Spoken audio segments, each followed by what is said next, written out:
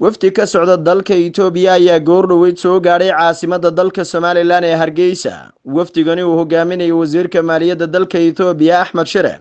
Waxaana mas'uuliyiintani garoonka diyaaradaha ee hargeysa ku soo dhoweeyey wasiiro ka tirsan xukuumadda somalilan iyadoo aan warbaahinta loo ogolayn.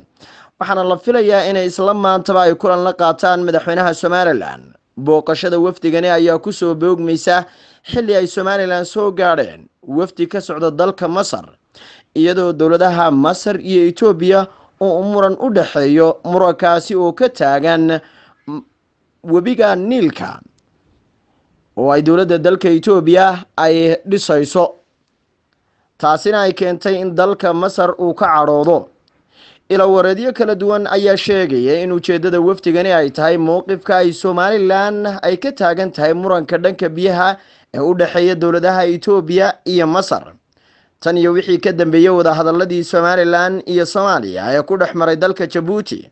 Waxaa dalka somalilan ku soo qulqulayay wufuud kala duwan oo ka socda caalamka booqashooyinkaasi ayaa somalilan sumcad weyn ugu fadhiya maadaama aanay aqoonsi caalamiya somalilan ka haysan beesha caalamka. Waxay taasi ka saacidi kartaa raadinta amaba soo dhowaanshaha aqoonsi caalami ah oo ay somalilan ka hesho waddamada caalamka. Marka ay dowladaha shisheeyuhu ay arkaan deganaanshaha somalilan iyo weliba xasiloonida iyo kala dambeynta ka hana qaaday. Maxamed cabdi qalinle telefishinka caalamiga bulsho hargeysa